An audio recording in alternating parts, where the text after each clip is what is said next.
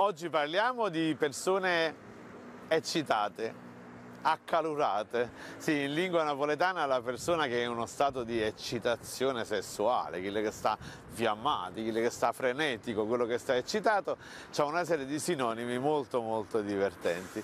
Prima di tutto, eh, chi le sta accalurato, cioè ha le, le, vampate praticamente, insomma ha le vampate di eccitazione. Chi le si è allumato o sta allumato, che dal francese allumé, allumé che vuol dire appunto infiammarsi, però in realtà in lingua napoletana non t'allumma, vuol dire non ti illudere, insomma, sì, è, sei tutta appicciata ma le speranze sono veramente pochissime. Chi le sta sempre attizzata, attizzato è come se fosse caloroso come un tizzone ardente, insomma. Mo metto un attimo il, il cappello, il tocco accademico della Gennarino II perché qui il, il, discorso si fa sempre più complicato. Chi le sta allupata, allupato, eh, sì sì, è, insomma, c'ha una fame sessuale, diciamo, in qualche modo da lupi. Chi le ha satanata, mamma mia, è dominato dal demonio, è invasato, parlano posseduto. Chi le sta sbavando, sta sbavando, insomma, dal desiderio.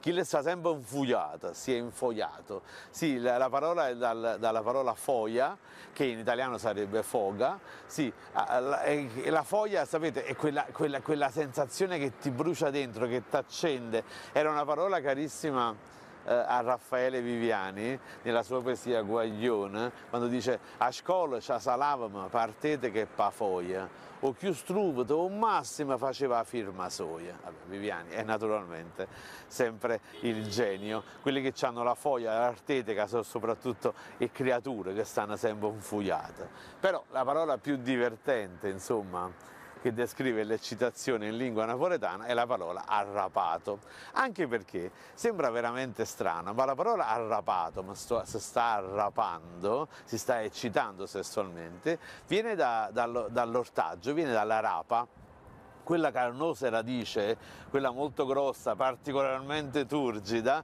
che ha quella pellicina bianca e, bianca e rosa, che serve per preparare insomma, delle zuppe e delle minestre molto buone, solamente che si fa una connessione semantica proprio con la rapa, ma sto arrapando, il mio membro sta assumendo la, la turgidità e la dimensione di una rapa, ma sto arrapando.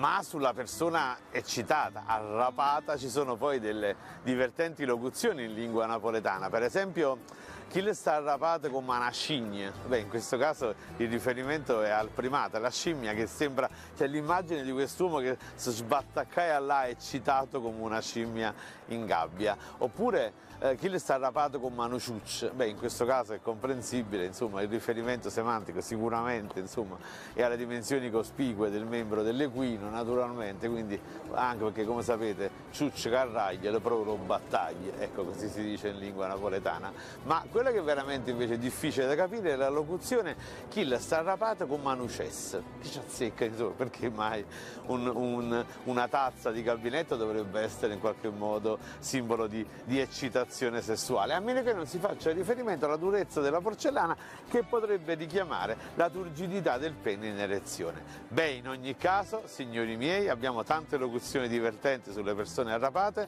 però prima non ci allumma, fatevi una bella doccia fredda e andiamo a cucà.